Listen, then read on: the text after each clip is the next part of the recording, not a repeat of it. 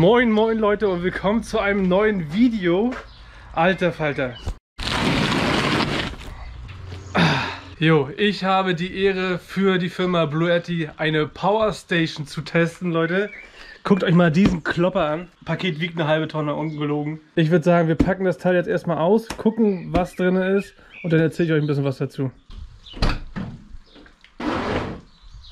Oh, nicht mal ein Messer hier.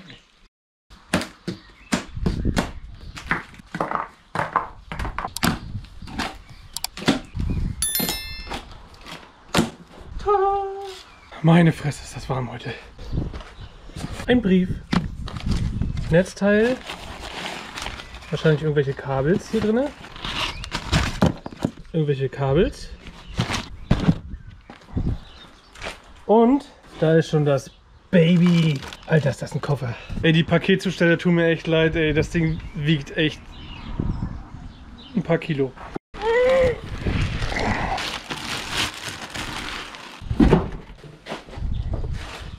Da ist das Teil, Leute.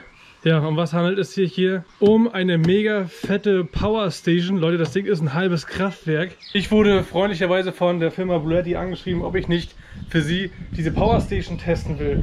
Dachte erst so, hm, naja, ich habe ja schon eine Power Station und ich mache ungern Werbung für irgendeinen Blödsinn. Keine Ahnung, ich gebe da so ein paar Anfragen, wo ich mir denke, ja Leute, was soll ich damit? Was, ne? Aber dieses Teil hier, Leute, ist echt der Knaller. Wir haben hier 2000 Watt. Ihr seht schon an der Größe, das Ding hat richtig Kapazität, Alter. Und da ich sowieso dann für meine Doka auf der Suche bin nach Strom im Bus, habe ich mir gedacht, warum nicht? Leute, das Ding ist der Wahnsinn. Also jetzt schon. Ich habe es noch nicht getestet. Aber das machen wir auf jeden Fall in diesem Video auf Herz und Nieren. Dafür habe ich mir schon ein bisschen was ausgedacht. Alter, ist das warm. Wir werden das Ding nämlich auf Herz und Nieren testen. Ich werde da alles ranstöpseln, was ich habe. Wir werden ein bisschen übertreiben heute, weil wir wollen das Ding wirklich richtig testen. Nicht einfach mal ein Handy ranstecken und gucken, ob das lädt. Nee, Leute, heute wird hier richtig Rambazamba gemacht. Ja, dafür würde ich sagen, laden wir das Ding im Bus. Ich lade noch ein paar andere Utensilien ein, fahre ein Stück raus und dann wird das Ding mal richtig rangenommen hier. Bin gespannt, was es kann. Ist das überhaupt schon vorgeladen? Ich weiß gar nicht. Ich hoffe, es ist schon geladen. On-off. Leuchten tut schon mal. Alter, das ist doch ein Kraftwerk, was hier hochfährt. Ja, doch, 70 Prozent. Ja, wird wohl reichen, ne? Genau, wir laden das Ding ein und dann geht's auch schon los zu einem ruhigen Spot und dann testen wir das Ding mal.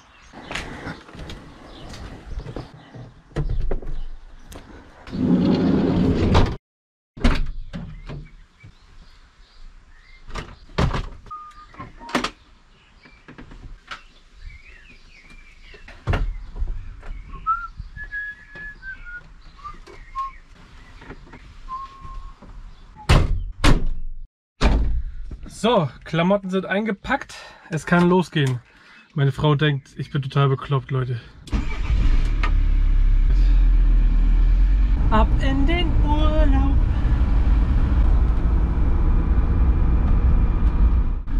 So, ich glaube, wir suchen uns mal lieber ein schattiges Plätzchen. Weil es ist echt eine Bullenhitze heute. Ich habe mir wieder den besten Tag rausgesucht für sowas. Und ich habe das Solarpanel gar nicht mit. Also das habe ich abgebaut. Normalerweise ist es ja hier oben auf dem Bus drauf. Aber das testen wir nachher auf jeden Fall auch noch. Also einmal das Solarpanel daran hängen und gucken, wie das Ding dann auflädt. Aber erstmal muss ich mir oh, ein schattiges Plätzchen suchen. Mann, ist das zugewachsen hier mittlerweile. Aber wir sind ja hier hoch wie Bus. Gar kein Problem. Oh, hier kann man ja gar nicht stehen.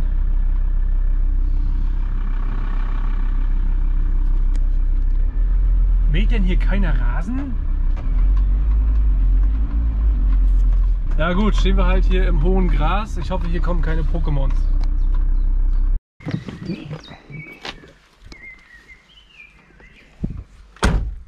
Ja, würde ich sagen, bauen wir uns mal ein bisschen was auf und dann machen wir uns hier mal einen ganz entspannten.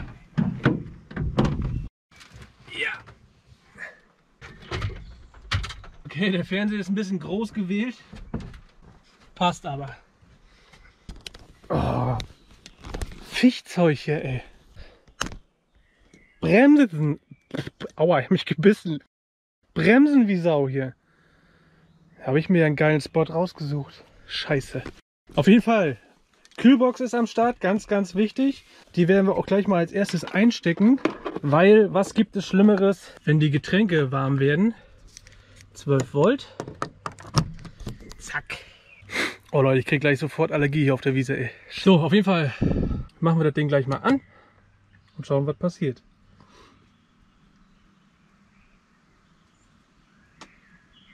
Boah, dafür muss man ja studiert haben. Ey, was ist denn das alles? Auf jeden Fall 70% haben wir drinne. Homepage, bin ich hier online oder was? Settings. Deutsch, Deutsch ist schon mal gut. Deutsch haben wir. Alles klar, Startseite, Einstellung. Äh, 50 Hertz, 60 Hertz, DC, Eingangsquelle, Tastenton aus. Nö, kann anbleiben.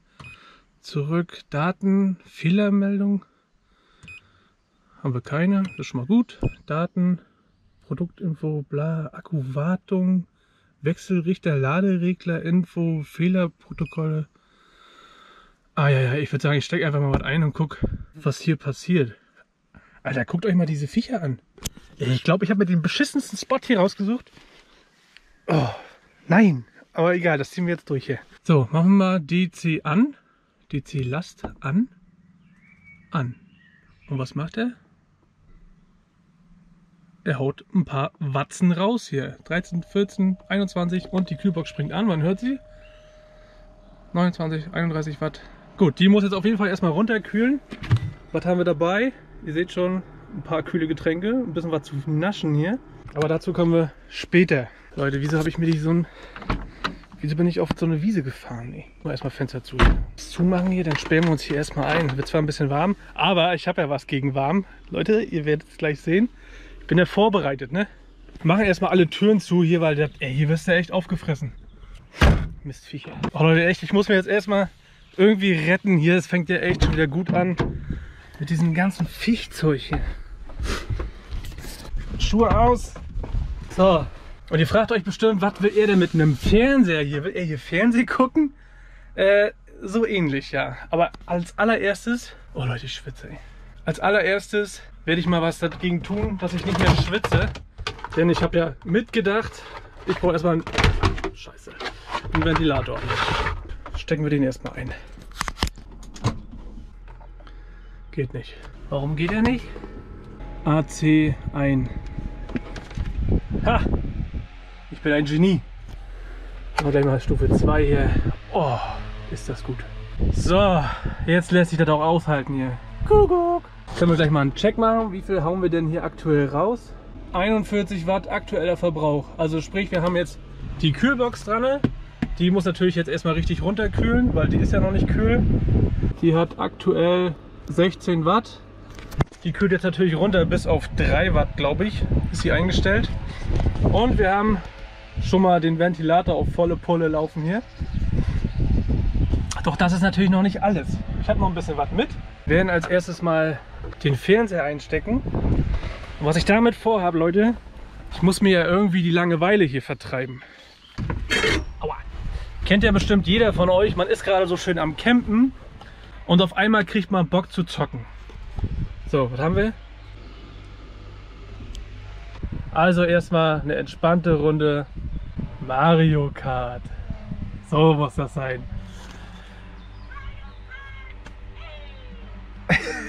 Geil. So, das ist für später. Bisschen blendet das. Ich muss hier mir noch einen Vorhang machen. So. So ist doch nice. Machen wir kurz den Ventilator aus. Ähm, ich hoffe, wegen den Windgeräuschen, ich weiß nicht, wie das auf der Kamera ist, aber auf jeden Fall werde ich jetzt erstmal schön eine Runde Mario Kart zocken. Natürlich auf 200 Kubik.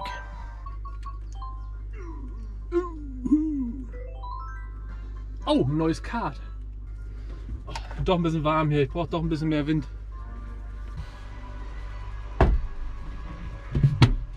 Warte, warte, warte, warte, warte, warte, warte. Ist zwar noch nicht ganz kalt, aber mich dürstelt es ein bisschen. Dürstelt, dürstelt. Ach, leck mich doch.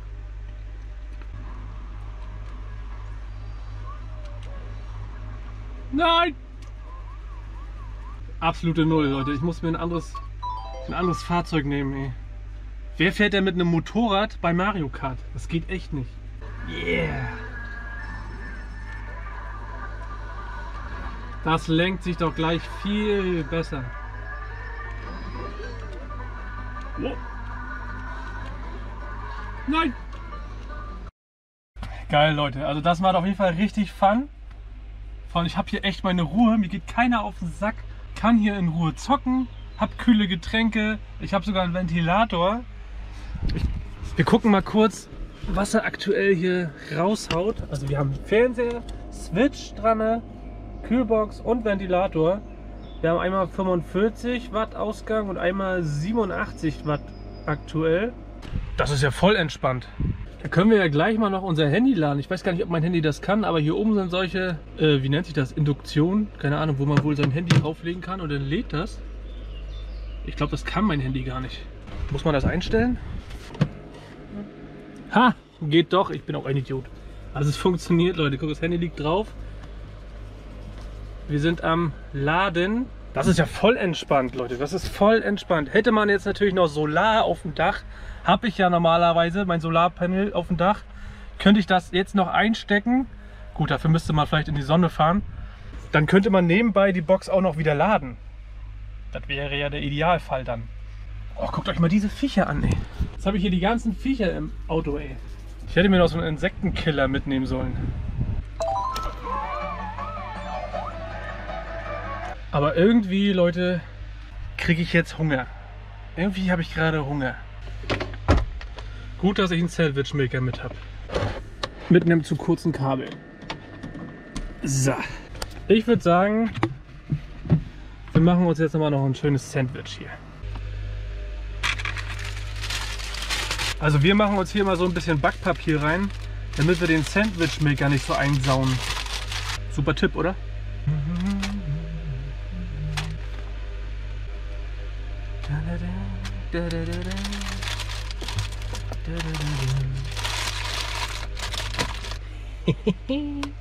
Was sagt der Verbrauch? 47 Watt und 88 Watt. Hä? Entweder ist die Kühlbox jetzt komplett runtergekühlt, dass die sich abgeschalten hat.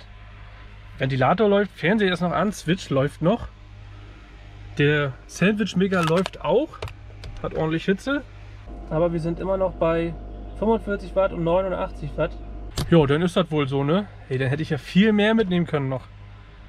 Naja, erstmal gibt es Sandwich hier.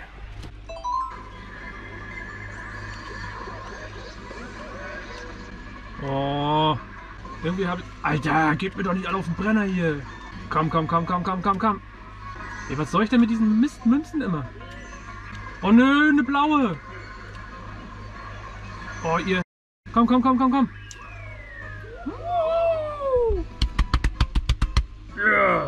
So, was macht mein Sandwich? Das sieht auch schon gut aus. Das kann wieder weg. Jetzt habe ich keinen Teller mit.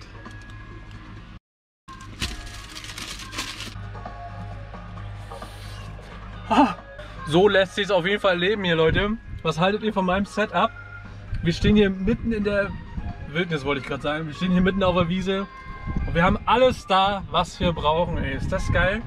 Ganz ehrlich, das ist, das ist der Wahnsinn irgendwie. Hätte ich jetzt noch Solar, könnte ich das Ding auch noch wieder aufladen. So geil. An der Stelle auf jeden Fall äh, danke an Bluetti, Alter, dass ihr mir das ermöglicht, dass ihr mir diese Box hier quasi sponsort ich damit ein Video machen darf, ich die weiterhin nutzen darf für meine nächsten Reisen mit der Doka dann wahrscheinlich. Also die Box ist dann für die äh, T3 Doka gedacht. Vielleicht hauen wir da ja auch einen kleinen Fernseher rein und so, einfach für, wenn wir mal länger weg sind. Ich meine, das ist natürlich jetzt total übertrieben, was ich jetzt hier habe. Aber das musste jetzt einfach mal sein. Ich wollte es ausprobieren, wie das funktioniert. Ich hätte viel mehr Sachen mitnehmen können. Ich, mir ist bloß nichts mehr eingefallen, was man noch hätte mitnehmen sollen. Vielleicht noch eine Mikrowelle oder so oder, oder ein Herd oder keine Ahnung. Aber das hätte wahrscheinlich auch funktioniert. Wir haben hier gar nicht so viel Verbrauch. Klar haben wir jetzt 63 Watt, wir haben schon ein bisschen was rausgeballert, aber das größte natürlich mit dem Ding, weil das haut richtig. Ich glaube über 600 Watt oder so zieht das Teil, aber das benutzt man ja wirklich nur kurzzeitig. Die Kühlbox läuft die ganze Zeit, natürlich auch nur minimal mit ein paar Watt, wenn die erstmal runtergekühlt ist. Ein Fernseher verbraucht eigentlich auch nicht so viel, sage ich mal. Dann der Ventilator, Handy laden, Switch läuft. Krass. Einfach nur krass, was das Ding kann. Dann würde ich gerne mal noch das Solarpanel ran kletschen, klatschen. hängen. Also das, was ich normalerweise hier auf dem Bus habe, das ist ein 100 Watt Panel. Äh, ich will mal gucken, ob die wirklich die 100 Watt hier reingehen. Man kann natürlich viel mehr Solarpanels ranklatschen. Es gibt so Kabeladapter, wo man mehrere äh, Solarpaneele nebeneinander quasi legen kann und ähm, zusammenschließen kann. Weil hier in die Box geht richtig Saft auch rein über Solar. Da kann man wirklich vier, fünf, sechs Paneele da anschließen und dann haut er hier auch wirklich ein paar hundert Watt rein. Ne? Aber das, wie gesagt, testen wir gleich noch. Ich packe jetzt erstmal hier zusammen. Ich spiele noch ein, zwei Level und dann fahren wir erstmal wieder zurück. Ich genieße das hier noch ein bisschen. Mein Sandwich muss ich noch essen, Bierchen austrinken und dann, und dann laden wir die Box auch wieder ein bisschen über Sonne auf. Haben wir heute genug.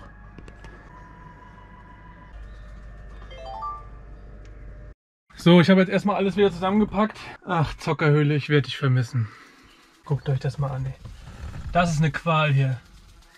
Raus mit euch.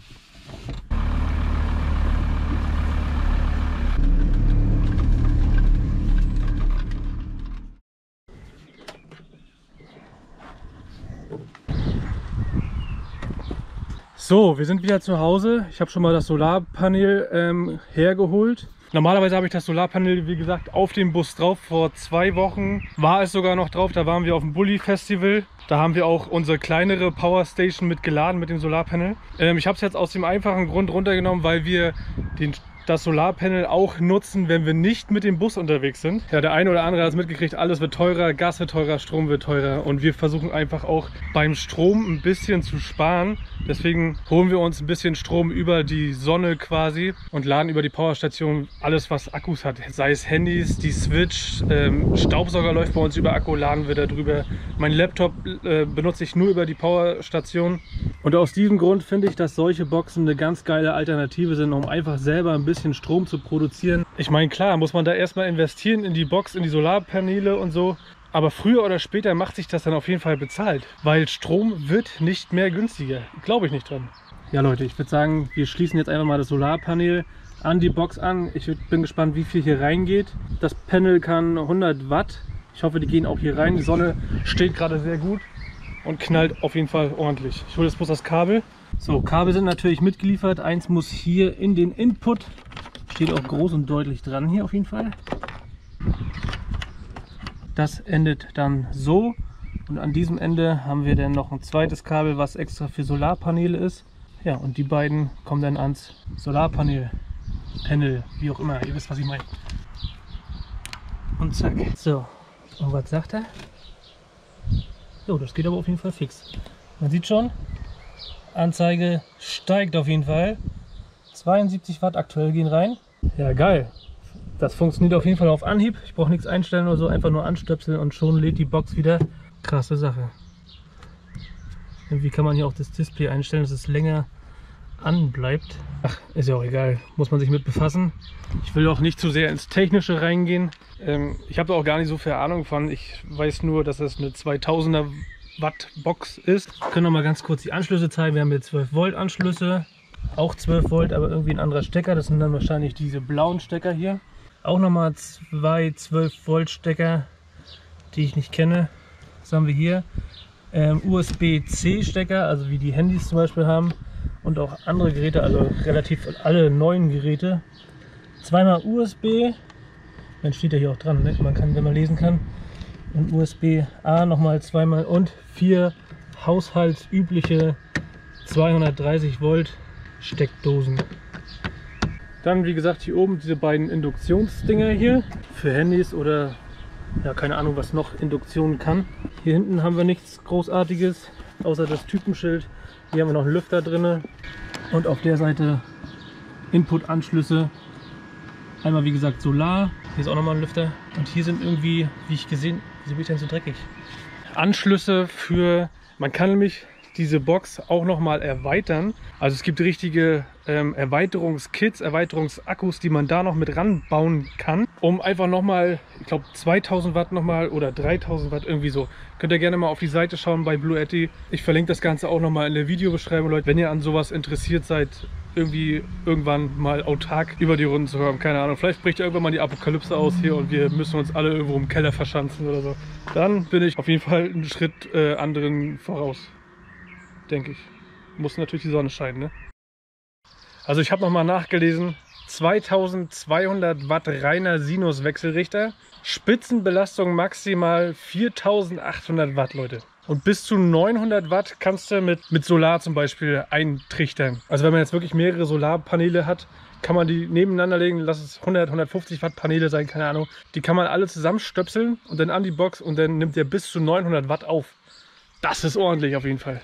Ja, ich würde sagen, ich lasse das jetzt einfach ein bisschen laden hier. Warum nicht? Sonne ist gerade da. Und da würde ich auch schon sagen, Leute, vielen Dank, dass ihr dabei wart bei dem Video. Ich hoffe, euch hat es gefallen, euch hat es ein bisschen Spaß gemacht. Wir haben eine kleine, aber feine Zockerhöhle gebaut im freien Autark zocken. Nenne ich es jetzt einfach mal. Krass, dass sowas heutzutage funktioniert, ey. Ich finde es krass. Gut, Leute, macht's gut, haut rein, bis zum nächsten Video. Ich räume noch ein bisschen auf und lade noch ein bisschen die Box.